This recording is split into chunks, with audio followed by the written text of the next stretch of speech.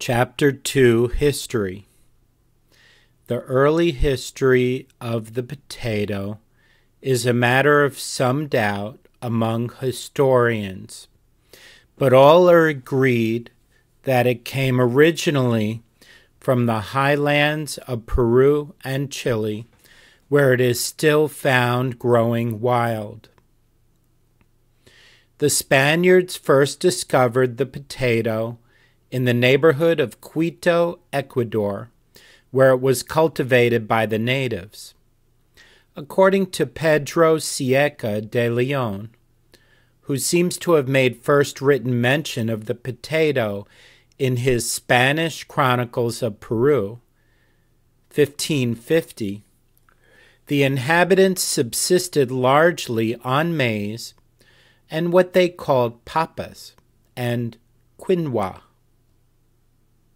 The former is the Indian name for potato, and the latter is a plant about the height of a man and has leaves like the blight of Mauritania and a small seed, either red or white in color, from which is prepared a drink, and a food comparable to our rice.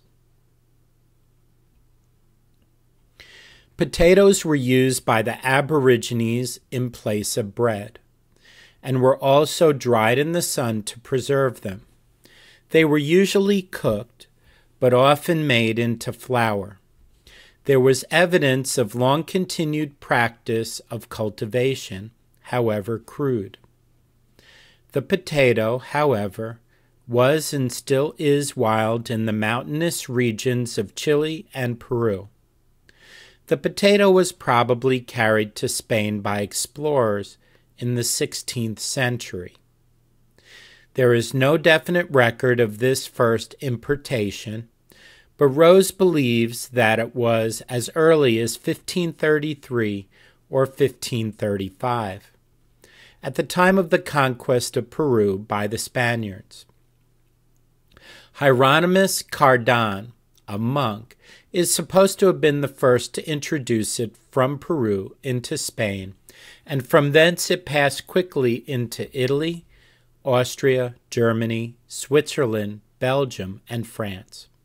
The first figures and detailed description of it in its new home in continental Europe are those of Clusius in 1601 in his Rariorum Plantarum Historia.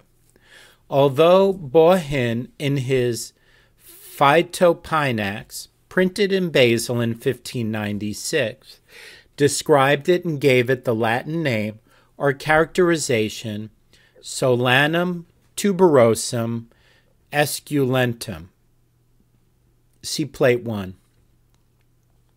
The date and method of introduction of the potato into North America are not definitely known, but it was probably introduced by Spanish voyagers and at some time before 1585, for it is clearly recorded that its first introduction was made into England by colonists from Virginia in 1586 under the patronage of Sir Walter Raleigh. It seems to me most likely, says De Candolle, that some inhabitants of Virginia, perhaps English colonists, received tubers from Spanish or other travelers, traders, or adventurers during the ninety years which had elapsed since the discovery of America. Evidently dating from the conquest of Peru and Chile in 1535 to 1585 many vessels could have carried tubers of the potato as provisions, and Sir Walter, Walter Raleigh, making war on the Spaniards as a privateer, may have pillaged some vessel which contained them. This is the less improbable since the Spaniards had introduced the plant into Europe before 1585.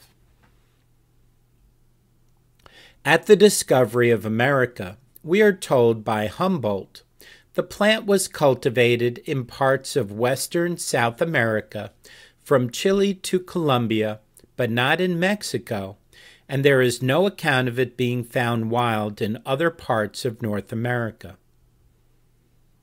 From 1585 or 1586, potato tubers were brought from what is now North Carolina to Ireland. On the return of the colonists sent out by Sir Walter Raleigh, and were first cultivated on Sir Walter's estate near Cork. This was some years later than their introduction into continental Europe. In 1629, Parkinson, in his Paradisus, in which he gives an indifferent figure of the potato under the name of Papas seu Battatas, Virgin, Virginianorum, adds details as to the method of cooking the tubers, which seems to indicate that they were still luxuries. The cultivation of the potato in England made little progress for many years. It is said that in the time of James I, they were so rare as to cost two shillings a pound, and are mentioned in 1619 among the articles provided for the royal household. In 1633, when their valuable properties had become more generally known, they were deemed worthy of notice by the Royal Society, which took measures to encourage their cultivation and for introduction into Ireland, especially as a safeguard against famine. But their cultivation has become general only within the last 100 years. John Gerard received some tubers of the potato from Virginia and planted them in his garden. He gave a careful description of them in his Herbal, the first edition of which was published in London in 1597. In a later edition, 1636, he pictures them by means of a woodcut. See Figure 6. He was so proud of these plants that he was represented in his portrait at the beginning of the work holding a flowering branch of the plant in his hand. It should be noticed how closely the description of the potato at this early date corresponds with the plant as grown today. He says, Virginia potato hath many hollow, flexible branches trailing upon the ground. These are square, uneven, knotted, or kneed in sundry places at certain distances. From the which knots cometh forth one great leaf made of diverse leaves, some smaller and other greater, set together upon a fat middle rib by couples, of a swart green color tending to redness.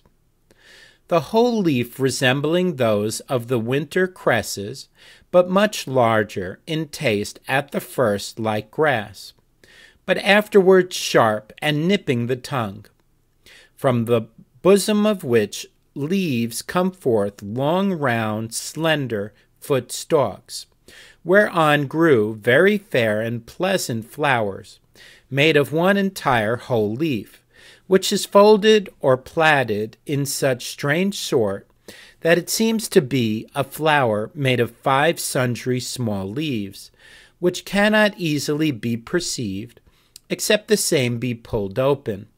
The whole flower is of a light purple color, striped down the middle of every fold or welt with a light show of yellowness, as if purple and yellow were mixed together. In the middle of the flower thrusteth forth a thick flat point, all yellow as gold, with a small sharp green prick or point in the midst thereof. The fruit succeeds the flowers, round as a ball, of the bigness of a little bullace or wild plume, green at first, and black when it is ripe, wherein is contained small white seed lesser than those of mustard. The root is thick, fat, and tuberous, not much differing either in shape, color, or taste from the common potatoes, saving that the roots hereof are not so great nor long. Some of them are as round as a ball, some oval or egg fashion, some longer and others shorter. The knobby roots are fastened unto the stalks with an infinite number of thready sh- strings. It groweth naturally in Americas, where it was first discovered, as reporteth Clusia, since which time I have received roots hereof from Virginia, otherwise called Norumbega, which grow and prosper in my garden, as in their own native country. The leaves thrust forth on the ground in the beginning of May. The flowers bud forth in August. The fruit is ripe in September.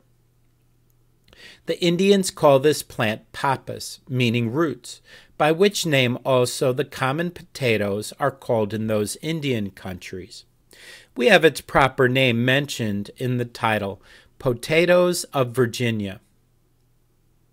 Because it hath not only the shape and proportion of potatoes, but also the pleasant taste and virtues of the same, we may call it in English potatoes of America or Virginia. Okay, so figure six, copy of the engraving of the Virginian potato in Gerard's Herbal, printed in 1636.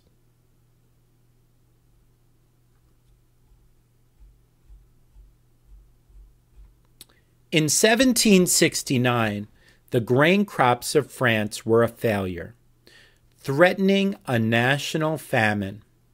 Parmentier, our Parisian chemist, recommended the use of potatoes as food to take the place of the grain crops. He had been a member of the medical staff of the French army in 1758 during the war in Hanover and had been taken prisoner. During his five years in prison, his principal food consisted of potatoes which were then grown almost exclusively as food for animals.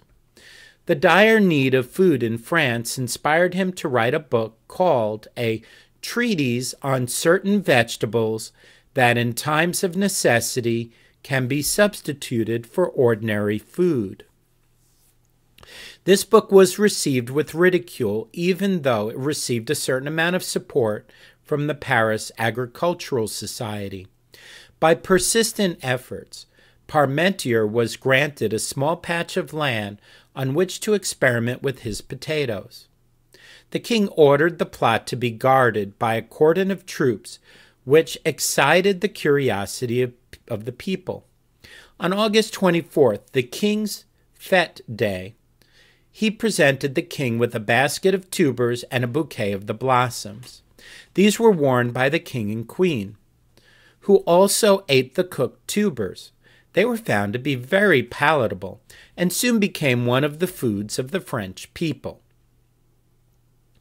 During the 17th century, the potato gradually became, from a botanical curiosity cultivated only by collectors of new plants, one of the staple garden and field crops.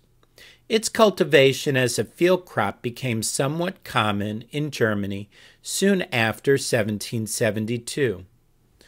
When the grain crops failed and potatoes were used as a substitute, the quality was very poor. However, and even though they were enormously productive, their use was restricted largely as food for domestic animals, and they were used as human food only when necessary as a substitute. By the latter half of the 18th century, it was extensively cultivated and recognized as one of the regular crops throughout the temperate regions of Europe and America, so that Henry Phillips, 1822, who published a detailed account of the potato and its culture, was able to cite a single grower who planted 300 acres annually. In Ireland, they were used very extensively as human food. By 1840, they had largely replaced the cereals and similar food crops because their yield in weight exceeded by 20 to 30 times the yield of wheat, barley, or oats on an equal amount of land. Dependence upon a single crop for food, however, became disastrous for the Irish. The potato blight, which appeared in the United States in 1845, devastated Ireland in 1846 and caused a widespread famine. It is conservatively estimated that 600,000 persons died during the two years 1846 and 1847 for want of food or from diseases caused by a meager diet of unhealthy and unnutritious food. By 1848, the plague had practically ceased. References uh, Campbell, Campbell, the father of the potato, De Candolle Alphonse, Origin of Cultivated Plants, Delecluse or Clusius, Rariorum Plantarum Historiae, uh, Gerard, Herbal, Heckel E., The Origin of the Cultivated Varieties of the Potato, Henslow, Geo, The Origin and History of Our Garden Vegetables and Their Dietetic Values,